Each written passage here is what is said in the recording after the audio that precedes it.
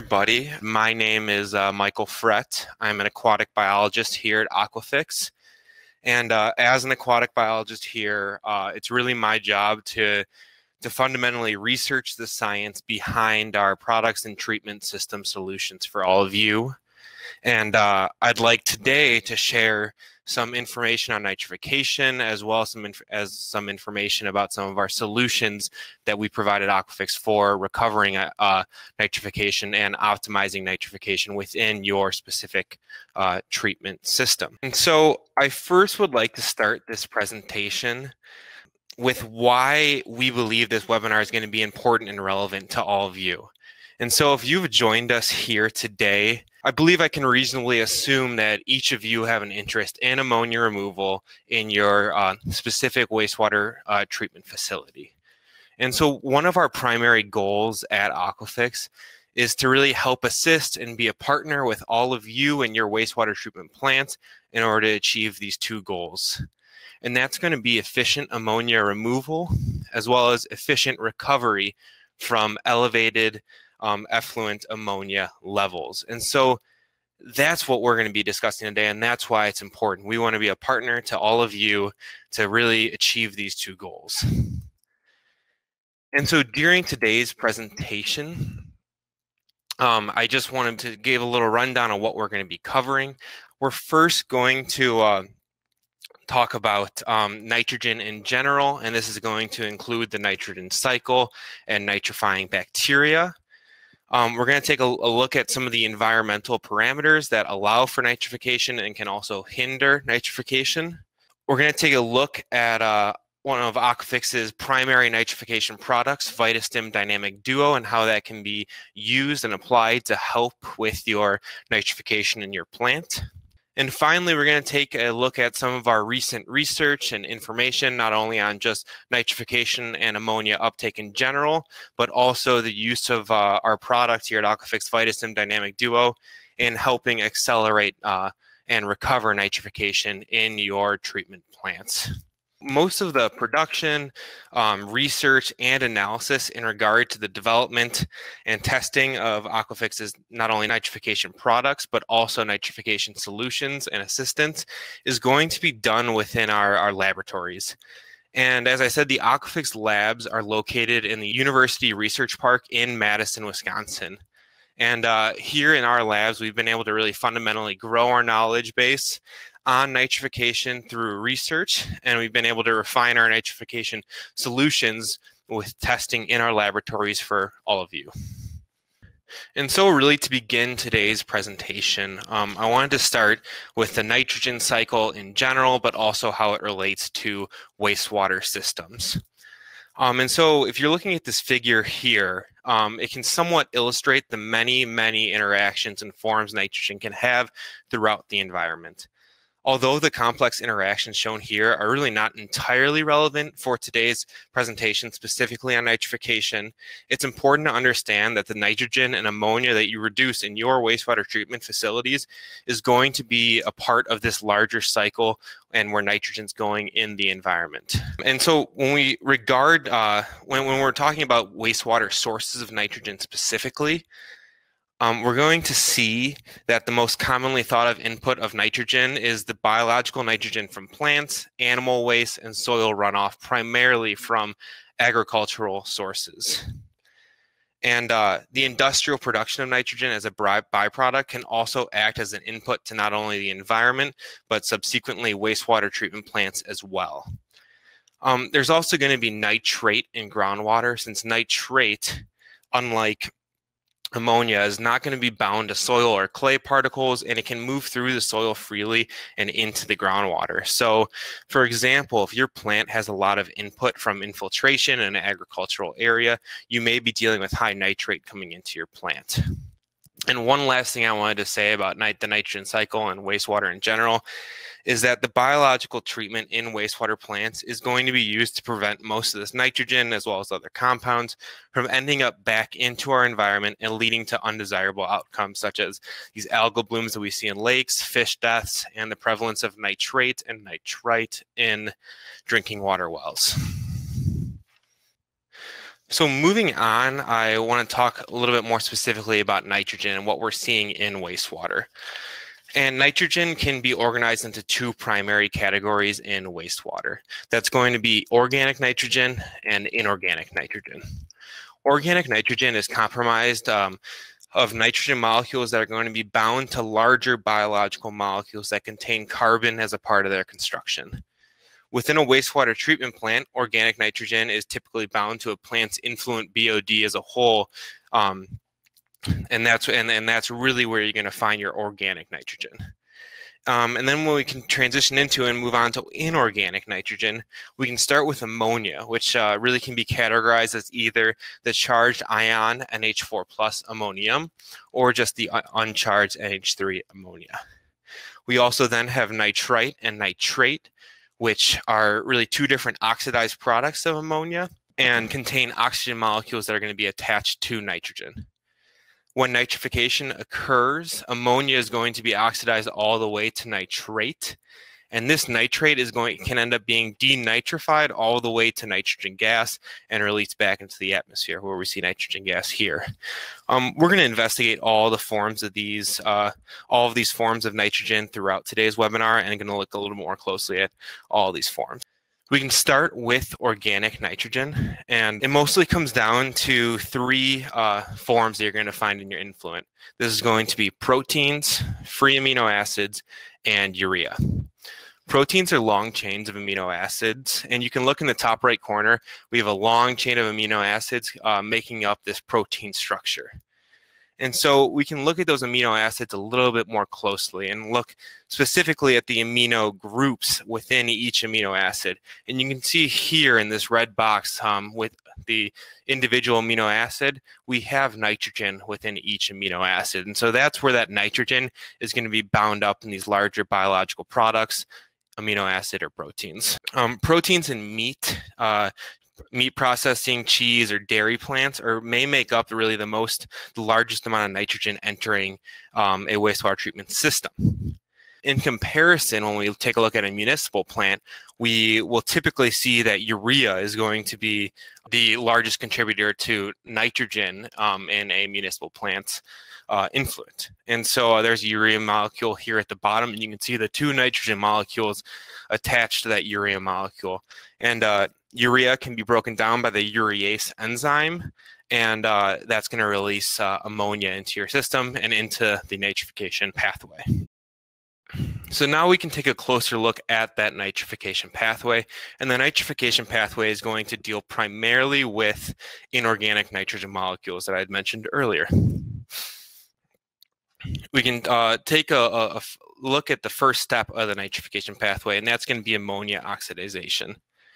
And so here we can see ammonia being oxidized to create nitrite, as well as some byproducts, which we'll get into a little bit later. But the important part of this first step of the nitrification process is going to be ammonia being converted um, into nitrite.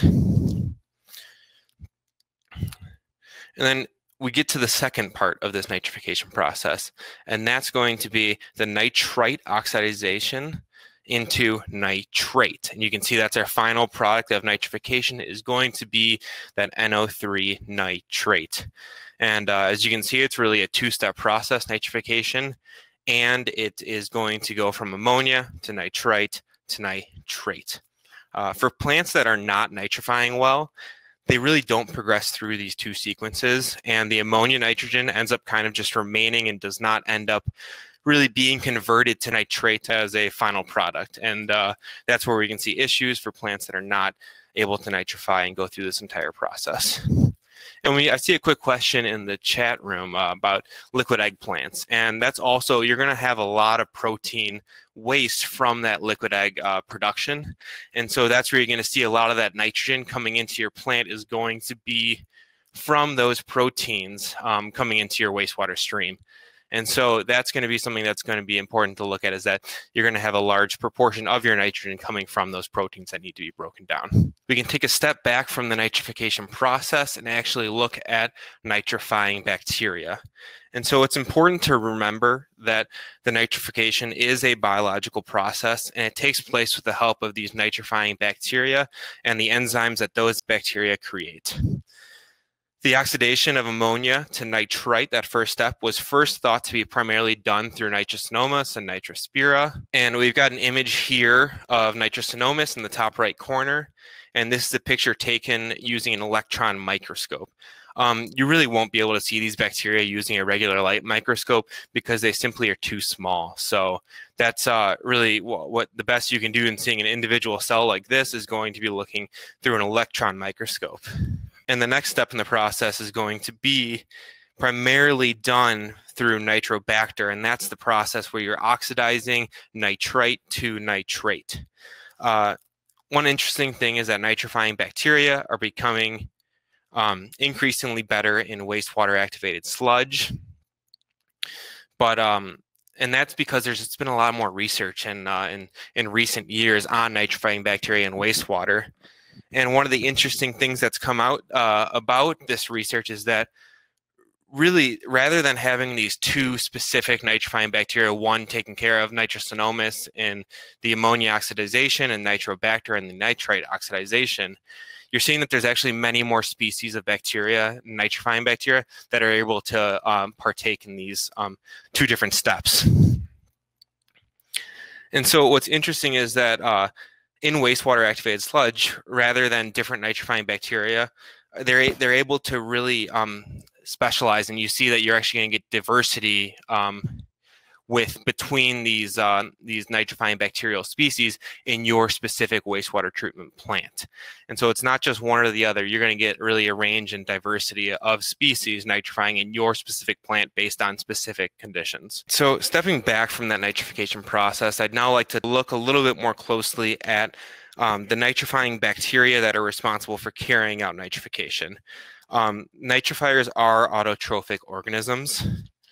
And this means that they synthesize their energy from inorganic nutrient sources, and specifically is going to be inorganic nitrogen and inorganic carbon. Uh, this process, the oxidization of ammonia, really does not generate much energy comparatively to heterotrophic bacteria.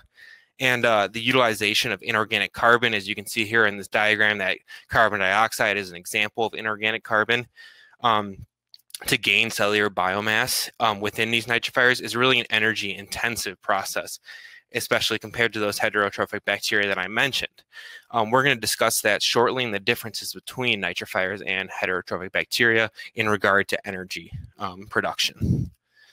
Some other notes about nitrifying bacteria are that they are sensitive to environmental conditions, um, especially changes in environmental conditions.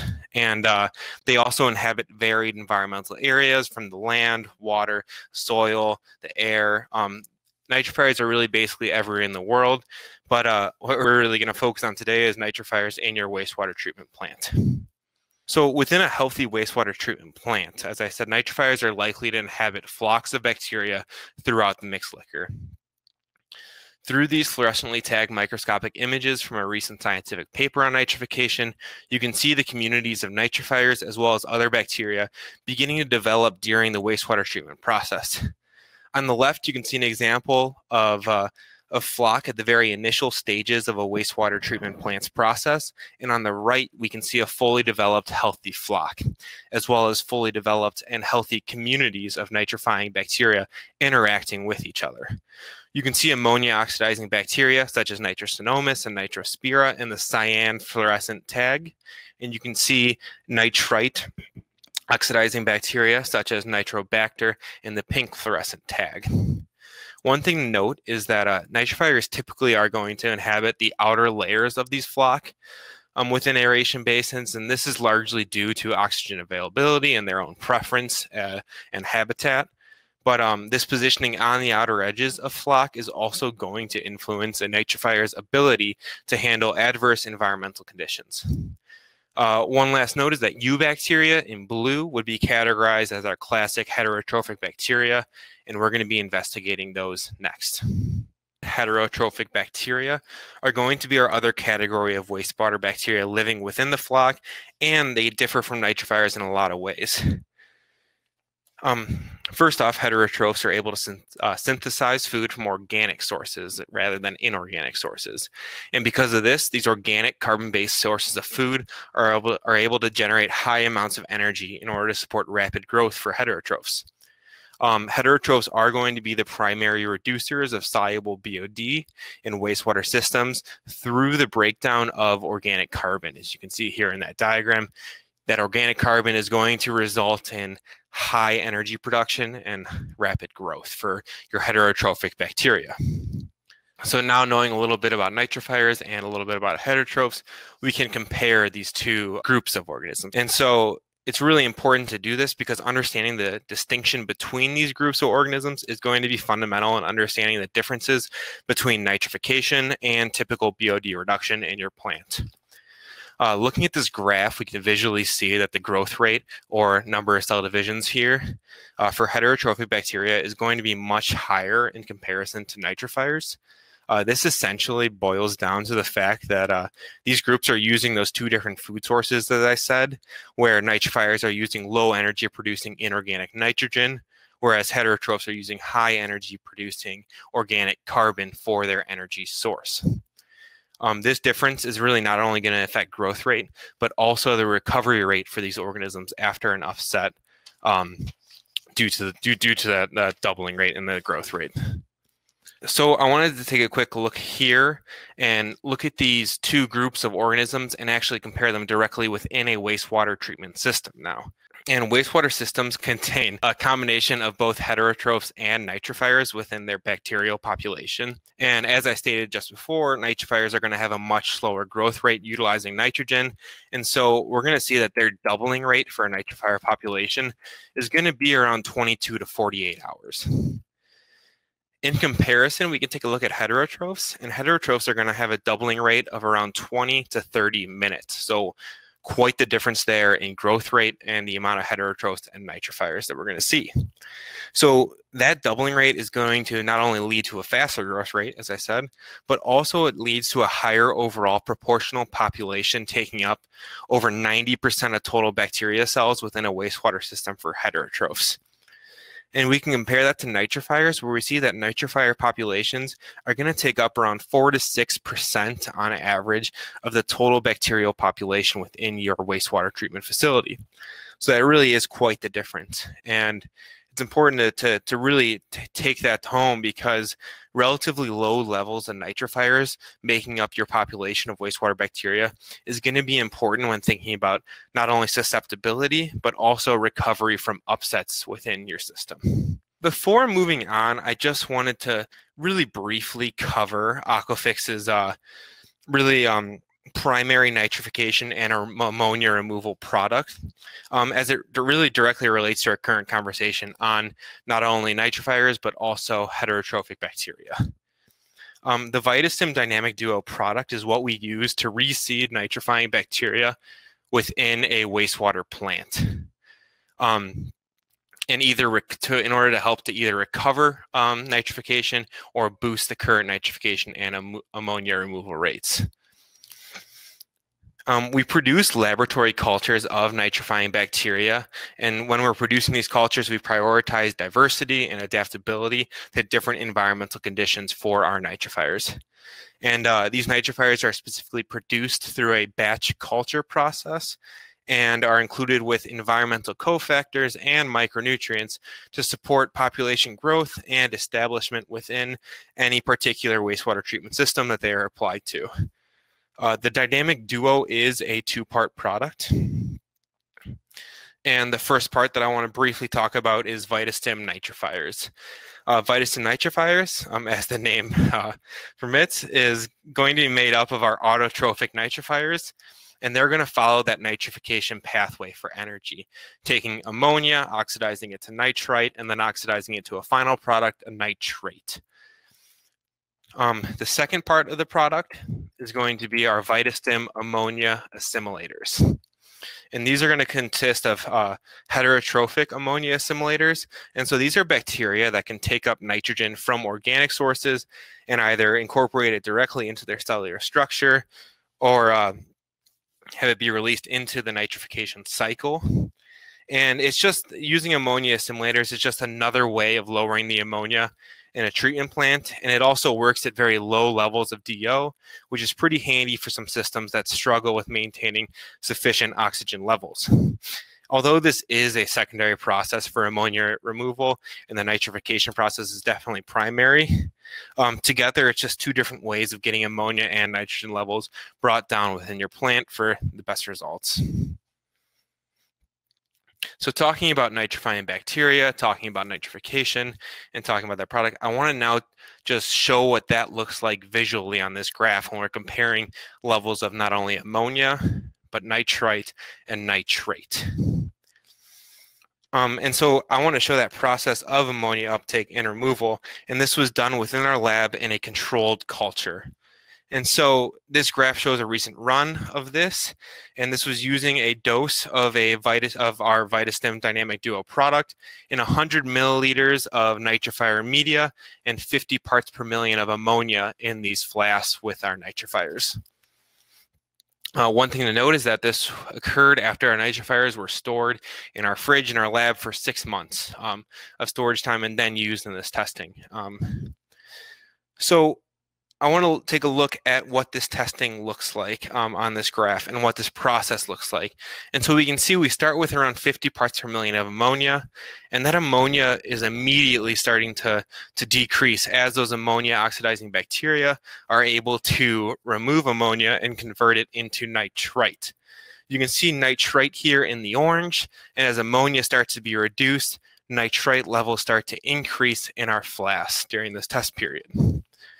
We can see then as nitrite ends up slowly starting to be reduced, what we see is our nitrate line in green start to increase as levels of nitrate, that final product of nitrification, starts to increase as our nitrification reaction is completed.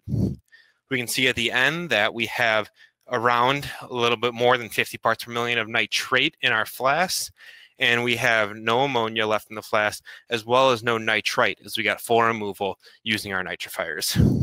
And so this is that relationship that we're talking about between these three uh, nitrogen-based molecules during the nitrification process by these nitrifying bacteria.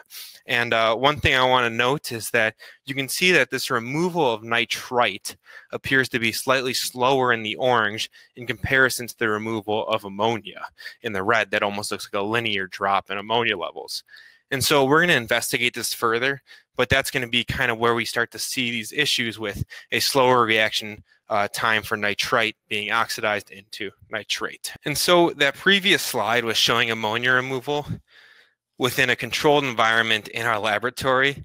But unfortunately to us and to all of you, nitrifiers in the environment are going to be a little bit more difficult to deal with.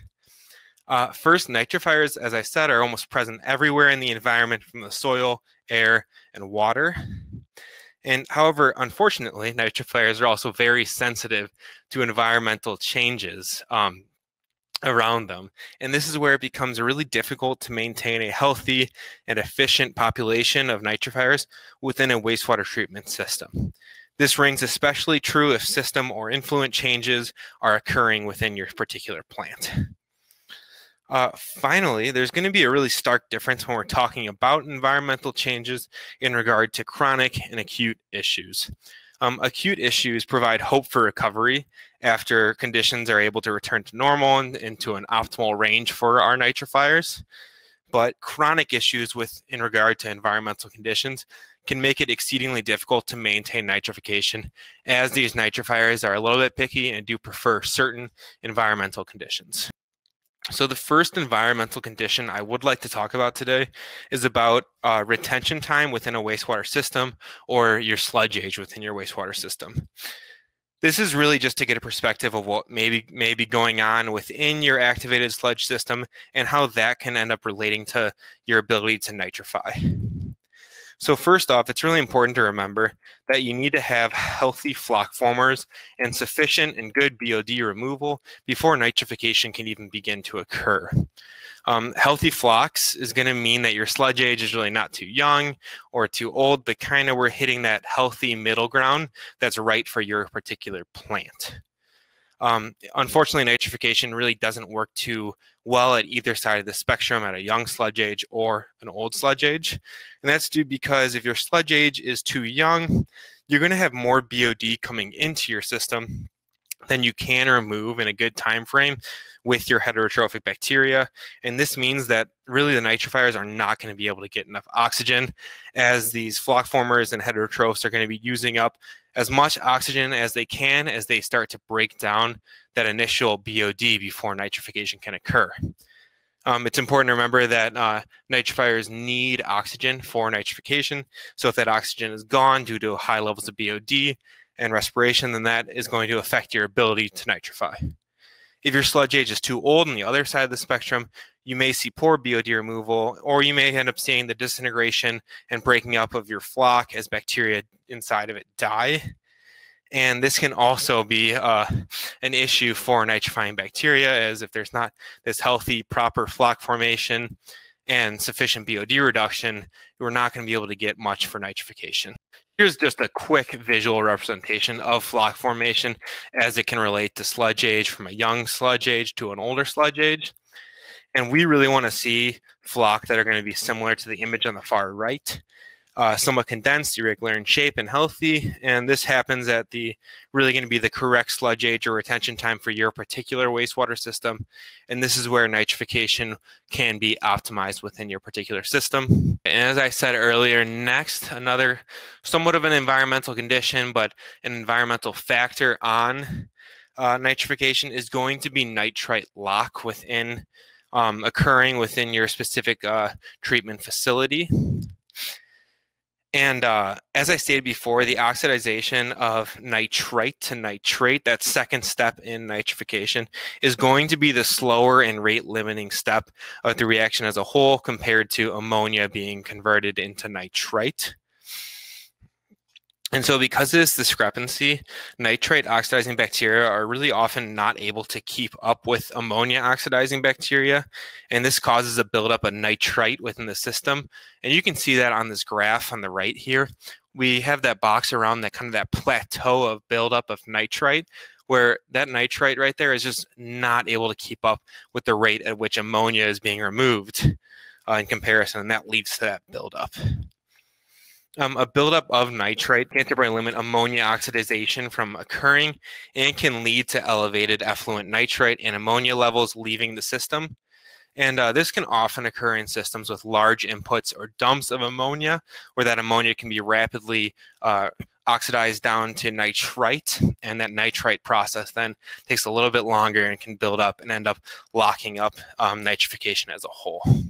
Moving on, I would like to talk a little bit about temperature and how temperatures in the environment can affect nitrification. Uh, I'm sure uh, a lot of you are dealing with some cold weather and uh, cold temperatures in your uh, treatment facilities right now, and I know that a lot of you may have uh, had effects on your nitrifier's ability to nitrify under these colder temperatures. Specifically, I want to say that rapid temperature shifts can really have significant adverse effects on nitrification. And this is largely due to the fact that nitrifiers are really unable to adjust quickly due to their slow growth rates. And uh, most bacteria in municipal wastewater, including nitrifiers, are going to have a slower metabolism and slower growth rates as temperature does decrease. Specifically for nitrifiers, uh, we're going to see that they prefer a temperature range between 15 to 30 degrees Celsius. That's going to be around 59 to 86 degrees Fahrenheit. And nitrifiers are going to have trouble growing fast enough to really maintain a sufficient population below that 15 degrees Celsius uh, level. And sometimes nitrifiers are actually going to have problems with uh, low levels of dissolved oxygen um, within water uh, at temperatures above 30 degrees Celsius as oxygen solubility uh, decreases at these higher temperatures. In the graph on the right, we uh, did some in, in-house testing on how temperature can affect nitrifiers and nitrification. And uh, you can see that um, we had temperatures that were placed in two different temperature or nitrifiers that were placed in two different temperature chambers at 7 degrees Celsius and 23 degrees Celsius. And we just wanted to see how the rate of nitrification was affected at these two different temperatures. As you can see from the graph that uh, the temperatures that were placed in the colder 7 degrees Celsius chamber had a harder time to nitrify and had a slower nitrification rate. And this is something that we commonly see um, everywhere with the colder weather um, slowing down the nitrification process. Um, some populations of nitrifiers may be able to uh, adjust to a consistent temperature outside of this range. Um, as long as as long as it's consistent. However, prolonged cold or rapid fluctuations of temperature really can be detrimental to a nitrifier population as a whole. So we can move on from temperature, and I would now like to discuss dissolved oxygen as it relates to uh, nitrification. Um, nitrifiers perform optimally within a wastewater treatment system that has dissolved oxygen levels around two to four parts per million. Uh, the, this range of DO provides sufficient levels of oxygen for not only BOD removal and reduction to occur, but also nitrification and ammonia removal. The top right picture is an example of what really good DO looks like within wastewater flocs. Um, we look at these flocs within our laboratories under phase contrast using the 40x objective in order just to get a sense what dissolved oxygen levels look like uh, penetrating these flocs. Um, and then the picture on the bottom just below is going to be an example of what low levels of dissolved oxygen in flocs look like. And uh, it's important to, rem- and you can tell this actually by, if you can see the darker colors under phase contrast and the black appearance of these flocs, that's going to be a sign of low levels of dissolved, dissolved oxygen. Um, it's important to remember here that nitrifiers need oxygen to perform nitrification and uh, really low levels of dissolved oxygen in your system can end up leading to more anaerobic bacterial metabolism, which isn't going to use as much nitrogen or phosphorus per, per carbon substrate as aerobic metabolism that we're talking about. So uh, you can end up getting ammonia released back into the water and not utilized by bacteria uh, under these low levels of dissolved oxygen. One other note is that BOD slug loads could, and also uh, coming into a plant can also really quickly drop levels of dissolved oxygen and thus limit nitrification from occurring until sufficient DO is going to be established again. And uh, our nitrifiers we produce in house are going to be acclimated to DO conditions similar to most wastewater treatment plants. And uh, this makes the application and establishment process pretty easy now uh, I'd like to talk a little bit about pH and uh, talk about how uh, a, a, treatment plant's pH can affect nitrifiers. And uh, so nitrifying bacteria are generally going to be working best in a pH range of around 6.2 to 7.9. And the closer they are around to a pH of 7.2, the happier and more efficient your uh, nitrifier population is going to be. Um, the ammonia oxidation process produces nitric, uh, nitric acid as a byproduct. And so this acid production is going to end up dropping the pH within a, a, a water body or a, a treatment plant. Um, and a pH drop and uh, lowering a pH to around 5.5 can actually end up inhibiting further ammonia oxidation as it's outside that optimal range. Uh, conversely, on the other side of the pH spectrum, ammonia oxidizing bacteria will either be dormant or may die at pHs of greater than 8.5. And uh, one thing to note about uh, pHs greater than 8.5 is that you end up getting a conversion of ammonium, NH4 plus, to ammonia, NH3, as you can see on this figure on the right. And at high levels, either one of these compounds uh, can actually be toxic to nitrifying bacteria, interestingly but um, ammonia NH3 is actually going to be uh, have a higher toxic uh, toxicity in comparison. So that's where these higher uh, pH values, leading to this higher proportion of NH3, can actually be harmful to nitrifying bacteria. And so because of that, that optimal pH range is really going to be best for nitrifying bacteria. Um, this isn't meant to scare you or worry you but uh, pH fluctuations are going to be pretty unlikely to occur in most systems. And this is going to be especially true in systems with sufficient levels of alkalinity. We can define alkalinity as the buffering capacity of a water body and um, is really going to be essential to control not only the pH level within that optimal range of nitrification. Um, alkalinity, uh, carbonates and hydroxides are the major contributors to a system's alkalinity level as a whole. And uh, interestingly enough, nitrifiers primarily use inorganic carbon, as I stated before, and they're primarily going to be using these carbonates, carbon dioxide, and bicarbonates as their primary inorganic carbon source for uh, cellular components and eventual conversion into organic carbon. Um, these compounds that make up alkalinity also help sustain that consistent pH value, as I said, within a plant. So making it all the more important to maintain sufficient alkalinity within your plant, especially when nitrification is uh, creating this acid as a byproduct. Uh, typically, alkalinity around 100 parts per million is optimal for nitrifier function. However, this value is going to be flexible for your specific treatment system. So for plants that actually are struggling though with low alkalinity levels or pH swings due to that, uh, Aquafix does have a product called a Boost and Lock, and this can offer a solution for you and your nitrifier population that's dealing with these pH swings. Uh, Boost and Lock is going to be a combination of carbonates, hydroxides, uh, and these can sufficiently increase alkalinity levels within a plant and uh, Lock is not only able to effectively neutralize the production of nitric acid during nitrification, but it also is able to act as a inorganic carbon source for these nitrifiers as well. Um, and so the combination of ingredients in Boost and Lock can really provide uh, like superior stabilization um, in comparison to the addition of um, these alkaline ingredients on their own.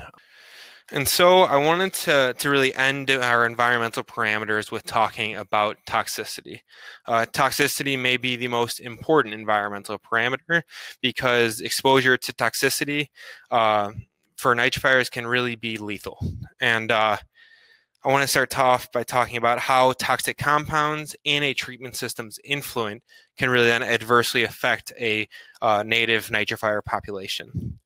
Um, upstream sources, these are often industrial sources, can be common sources for toxicity coming into a wastewater treatment system. Um, nitrifiers are often more susceptible to toxins in comparison to other wastewater heterotrophic bacteria. This is largely going to be due to their thin cell wall and their slow rate of regrowth after being exposed to a toxin compound. Um, this really is going to make recovery after toxic exposure all the more difficult for your plant and your nitrifiers. Um, these biocide cleaners and sanitation compounds, they can remain present within the influent uh, from coming upstream and can enter into your plant and expose, and exposure of these compounds to nitrifying bacteria can limit nitrification as well, uh, as well as kill off your nitrifying population. Aquafix has done extensive research on toxicity's impact on nitrification, and their research has primarily revolved around quats or quaternary ammonium compounds. I just want to take a quick break here. I know that was a lot of information, but I want to go over some of the takeaways we had in this first part of um, in this first part of basically uh, the presentation. So what I want to say here is that it's important to remember that nitrifying and heterotrophic bacteria are going to be different. Um, we're saying that in the sense that uh, not only is their energy substrate different, their growth rate's going to be different, and their ability to handle environmental conditions is going to be different. So you really need to not treat the plant as one entire one one um, uniform group of bacteria, but rather you have these different uh, populations of bacteria um, doing different uh, process or conducting different uh, treatment processes within your plant. And with that, we want to remember that nitrifiers do have this delicate relationship with the environment, and they really uh, are, are able to efficiently uh, nitrify under these optimal environmental conditions. And finally, I want to just mention briefly that uh, the repopulation of nitrifiers is difficult due to these many factors, and uh, we're going to be investigating that uh, point a little bit further with some data later in this presentation. And so again, I wanted to take a quick break here. I know that was a lot of information on nitrifying bacteria as a whole, but uh, if anyone has any questions, feel free to write them in the chat box, and I can either answer some now as time permits, or I can also follow up with a longer response after the webinar has concluded. Um, in, in regard here to this one question from Evan about what level of peracetic acid would you consider to be toxic? Um, so there's a lot of a lot of factors that go into specific toxicity and how it's going to affect the population. This is going to be not only um, taken into account the level of nitrifiers you have, the health of nitrifiers you have, and the amount of solids in your plant that's able to absorb that toxin as well. So there, there, there's a lot of, and, and the amount of toxin that's left by the time it gets to your plant. So there really is going to be a lot of uh, factors that go into that. And so I, I wouldn't be able to offer a specific number right now, but um, that's something that I think we, we could look into if we uh, um, could e have an email and uh, do some more of that uh, do, and look into that your specific case more. And then this question from Taylor that was just asked, what is a good uh, milligram per liter concentration of um, mixed liquor suspended solids? We are around 3,500 to 3,800. Um, Taylor, that's going to be uh, really um, a, a, another question where there's not a, a perfect amount.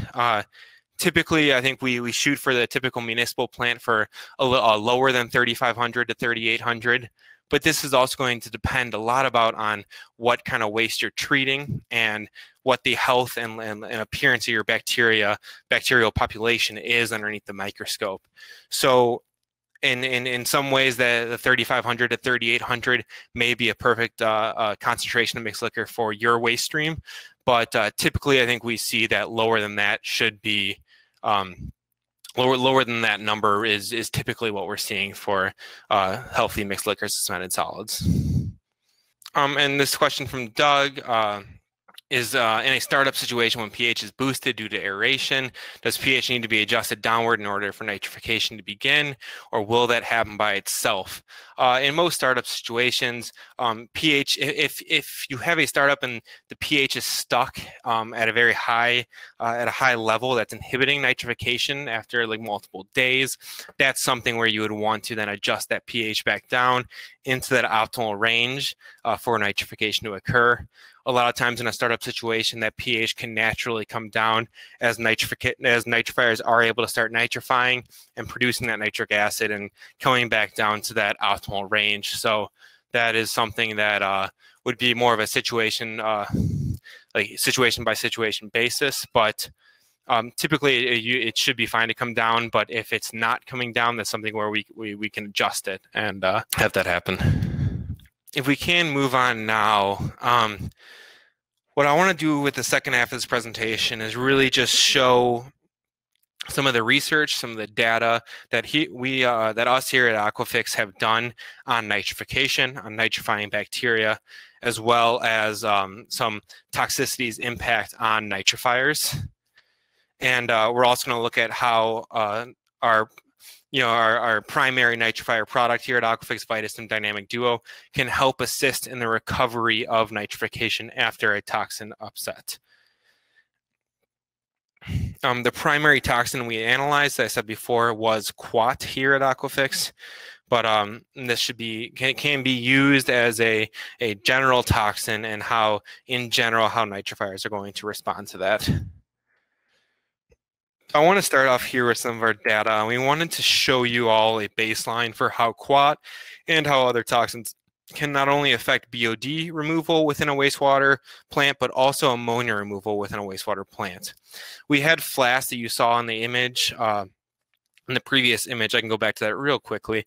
We had these wastewater reactor flasks uh, set up with mixed liquor, and we um, ended up spiking uh, mixed liquor with uh, with with quat at different concentrations to see how that affected um, the level of BOD removal as well as the level of ammonia removal.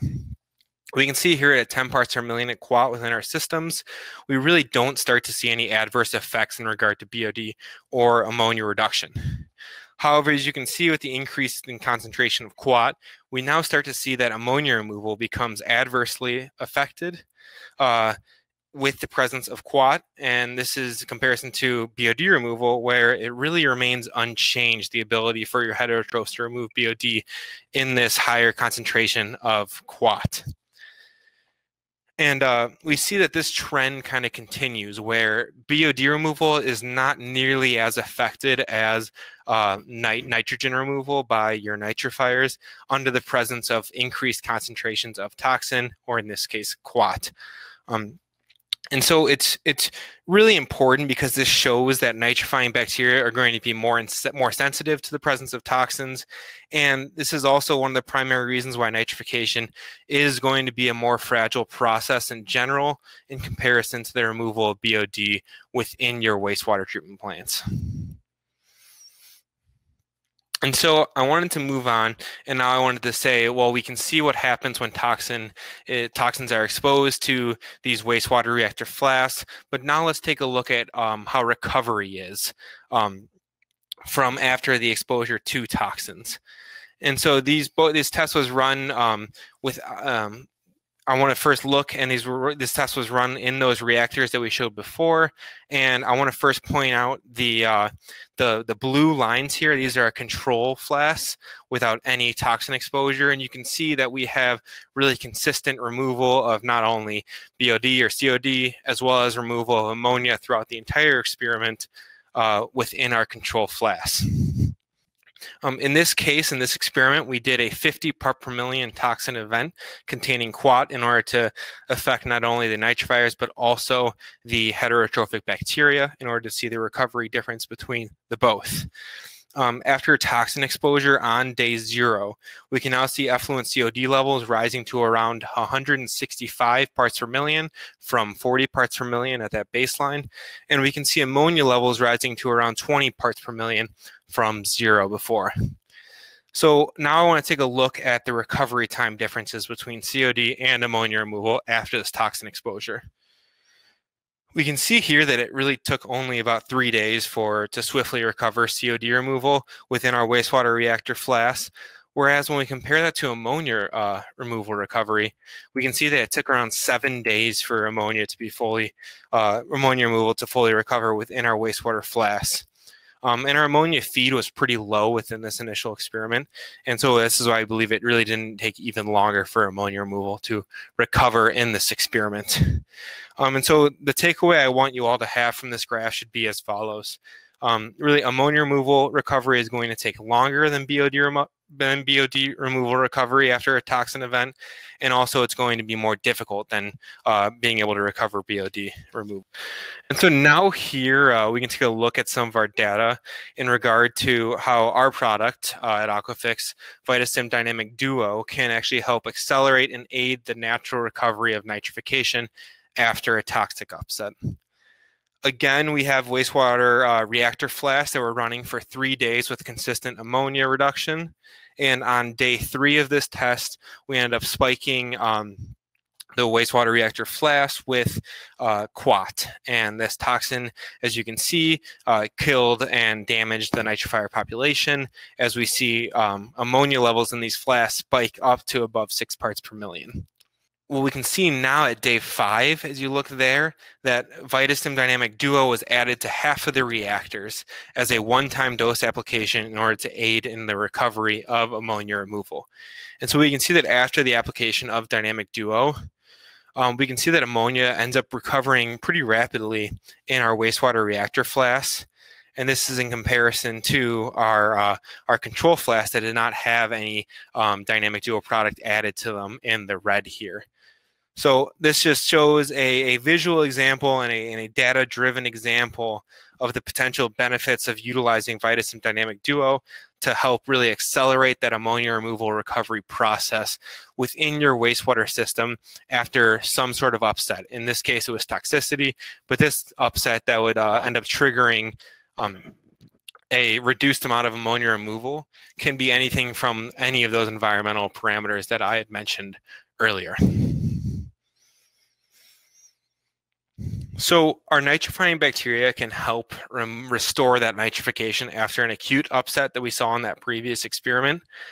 But it's still important to remember that chronic environmental issues can still permanently inhibit nitrification from efficiently occurring. Um, as we can see here, we have those all those environmental issues that we ended up uh, discussing earlier briefly, and keeping those environmental conditions within that relative range for efficient nitrification is really going to be just as important for aiding uh, in the recovery of, of, of in the recovery of nitrification after an upset as it would be for reseeding nitrifying bacteria into your um, plant to help support the growth of your nitrifier population. So I wanted to circle back real quickly um, and just show our, uh, our VitaStim dynamic duo nitrification product again after uh, showing some of that in-house lab data using our uh, dynamic duo product. Our product is based on this laboratory produced culture of nitrifying bacteria here, as well as those environmental cofactors and micronutrients that help establish growth within uh, your treatment system. Um, our product should help uh, recover nitrification as well as establish a better ability to organically assimilate uh, nitrogen within your treatment system. I just wanted to then mention as well that our products are typically added at the same time to use simultaneously within your system. And regarding location for that, uh, our Dynamic Duo product is typically going to be added directly to the aeration basin in order to get a quick drop in ammonia and reseed your native nitrifier population and establish growth there. After uh, 10 days, we typically have strong results in regard to ammonia removal um, and recovering nitrifier populations to have sustainable growth moving forward. Within those 10 days, we typically begin to see results starting to occur after about three days in municipal facilities and about seven days in industrial uh, facilities. Finally, our dynamic duo product cultures are going to be well adapted to varied environmental conditions um, in order to allow for adaptability and uh, some hardiness to occur when being applied into uh, different wastewater treatment facilities as nothing really is ever the same. So we want to make sure that our nitrifiers can um, adapt reasonably well to your specific wastewater treatment facility. So I would like to end today's presentation with just highlighting some recent case studies from the field um, of using our VitaStim Dynamic Duo product in order to help solve nitrification issues from both municipal and industrial facilities. Um, I just want to show some of these cases to say this is what we, we have experienced in the field in some uh, real world examples on uh, recovering nitrif nitrification within a specific wastewater treatment facility. So first, I'd like to start in a municipal plant in Pennsylvania. Um, this particular plant, unfortunately, had a large diesel fuel spill, and it was about seven 55-gallon drums worth of diesel fuel uh, spilling upstream from their treatment process um, this was this the, the spill was pretty detrimental for the nitrifier population to say the least. Um, typically, this plant had about 220 parts per million BOD and 23 to 32 parts per million ammonia coming into the plant. So it really was pretty typical for a municipal plant. Um, one thing to note is that temperature was somewhat cold at 13 degrees Celsius when this event occurred and during the recovery period. So after this, uh, this, this diesel fuel spill, uh, BOD removal was actually able to be recovered pretty quickly. And uh, that was encouraging to see, but unfortunately, nitrification remained limited as effluent ammonia continued to increase for multiple months after the spill. Um, and so, with these temperatures remaining low, recovery appeared difficult as it just seemed like the nitrifier population in this plant was just not working as efficiently as possible to completely remove ammonia from the plant. So our solution for this municipal plant was uh, to begin feeding Dynamic Duo at uh, one gallon per SBR at their plant, starting in the first week of January. And so we still had that 13 degrees Celsius average temperature um, during that first week of January uh, when treatment was started. And so uh, it was really encouraging though because even in those cold temperatures, efficient ammonia removal was able to still be recovered after one week of treatment. And our effluent ammonia levels in this plant ended up returning to normal at less than one part per million. So this was a nice uh, little case study seeing that we were able to still be successful even at a in restoring um, efficient and complete nitrification even at a lower temperature. I want to move on now and kind of show an industrial example of nitrification recovery that we uh, worked on recently. And here at Aquafix, we worked with a barge cleaning facility. Uh, the, and um, this barge cleaning facility had two batch reactors within their system. Typically, they had 250 parts per million ammonia coming into the first reactor, and eventually they had one part per million ammonia leaving that second and final reactor. And uh, this barge cleaning facility suspected a toxic event had occurred, um, and effluent ammonia levels ended up rising to around 25 parts per million. Um, and so after that effluent ammonia levels rose to 25 parts per million, we ended up proposing the solution of Dynamic Duo, and we started a 10-day treatment of Dynamic Duo down at this barge cleaning facility. Uh, Dynamic Duo was applied at three and a half ounces of nitrifiers to the first reactor daily, And after 10 days, we were incredibly happy to see that effluent ammonia levels had recovered to around 1 ppm from that 25 uh, ppm upset level. And uh, we were happy to see that moving forward, this uh, a healthier nitrifier population was reestablished in this particular treatment system after this toxic shock. All right, and then we have one more case study for all of you that I just wanted to go over quickly. This is a really interesting case study because it's dealing less with just the oxidation of ammonia, but looking at what happened when we saw nitrite lock occurring in a meat processing facility. Um, and so this hog slaughter facility had an activated sludge process that included a 1.8 million gallon aeration tank. Um, their waste stream really heavily favored ammonia in comparison to BOD, as uh, influent ammonia levels were actually around 200 parts per million in comparison to influent BOD levels, which were around 30 to 40 parts per million. Effluent ammonia was efficiently being, or ammonia was efficiently being removed typically, as effluent ammonia was usually around less than one part per million. One part to note about this plant is that the alkalinity was 120 part per million typical, but it can get as low as 50 parts per million, and pH swings were possible in this plant. So we come to our problem, and the issue began when heavier loading led to a rapid pH drop to six within the plant, as well as a pump malfunction led to a loss of significant solids from the aeration tank. So not only do we have pH swings, but we also have a loss of solids and a loss of some of your nitrifier population. Both of these issues led to ammonia spiking to around 5.6 parts per million initially. And uh, this plant, interestingly, was able to pause treatment and uh, had a had a had a recovery of their ammonia uh, or nitrifier population, and effluent ammonia levels were able to return back to normal um, after they were able to pause and uh, pause their treatment and continue on.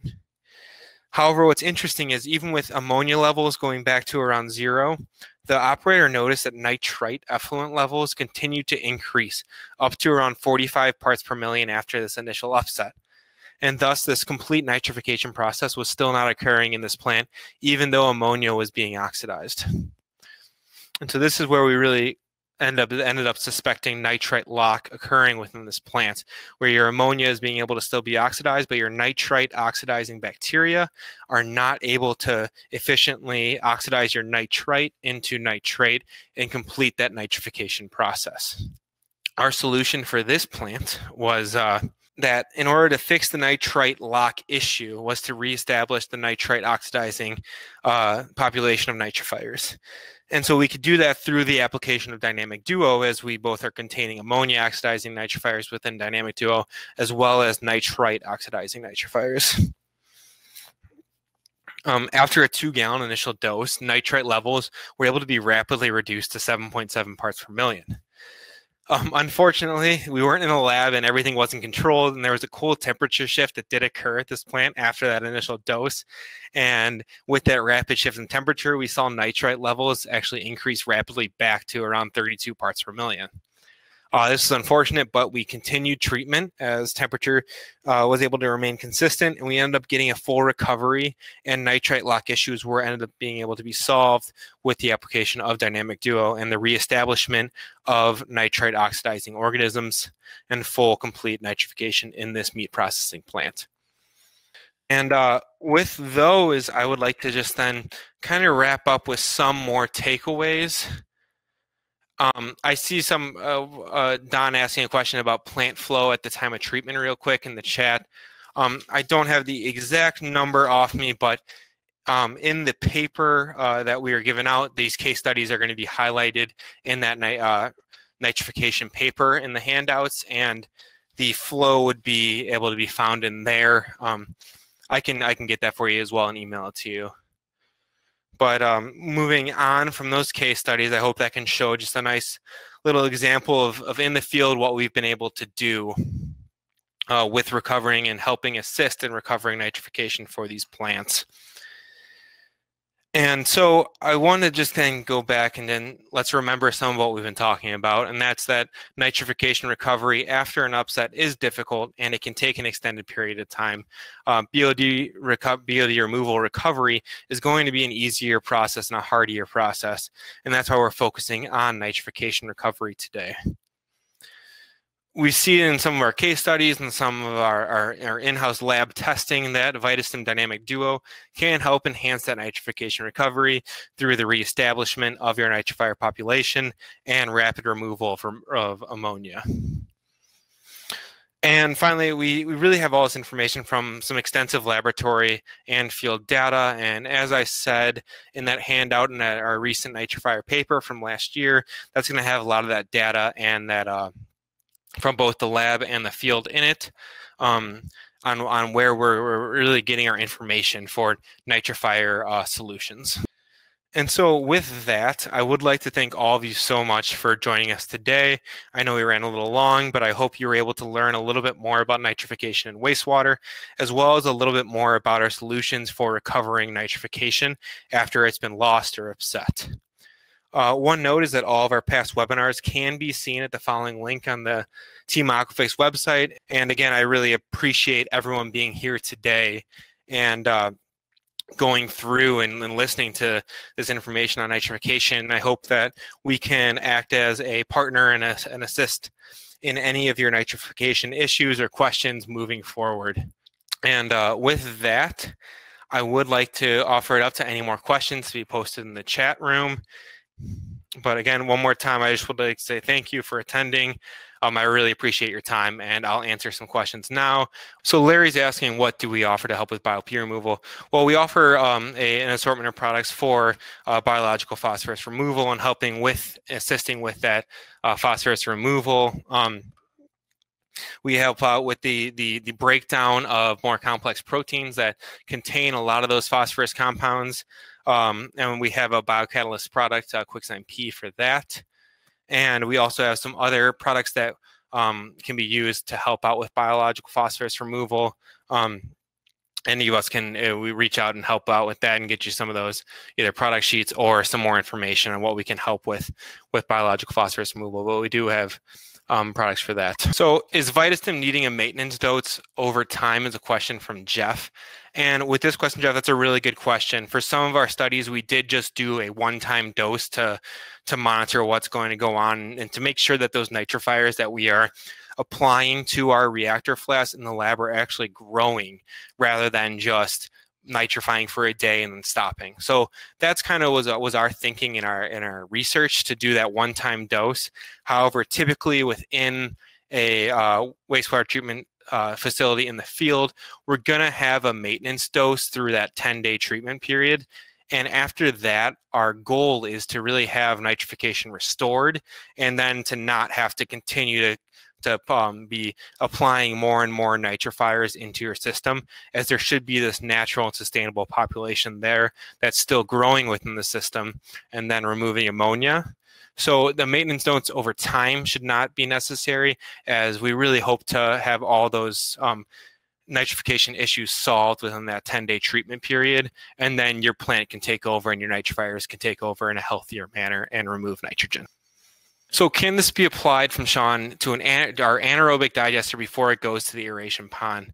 So the one issue with that is the um, for the ammonia assimilator, sure, we could uh, have that working in an anaerobic digester possibly. But the issue with applying nitrifiers to an anaerobic digester is, as I stated, the nitrifiers really need oxygen and that aerobic um, aerobic environment in order to oxidize ammonia to nitrite and to nitrate.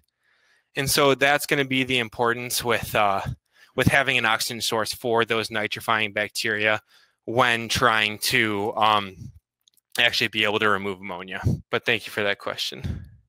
So for this question from Don about what type of dose was required to deal with quat toxicity to return to normal, um, we saw that our our really it it it one the, the dose rate can depend on one of many things. It can depend on um, and we can see that I think believe they're on the product sheet our dose rates, but it can depend on the temperature as you may need a larger dose rate if you have a colder environment that you're going to be applying these nitrifiers into.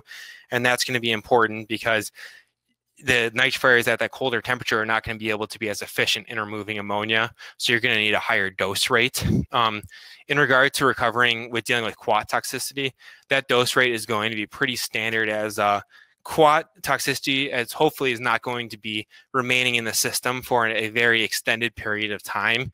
So um, just our, our, our, standard dose rate should be efficient uh, in most cases to be able to recover from normal from quat or any other type of toxicity coming in in an event. Um, and as I said, that would be an acute event rather than consistent levels of quat coming into your influent and disrupting your nitrifier population. I just wanted to say again, hopefully I was able to provide some uh, useful information on nitrification to all of you. And I really hope that um, that I was able to, to, to, give you some more information and be able to act as a partner in uh, this fight to have efficient and uh, complete nitrification in all of your plants. Um, but with that, I just want to say thank you again so much for joining me today. And I look forward to working uh, to really help on any nitrification issues in the future. Thanks so much. Bye.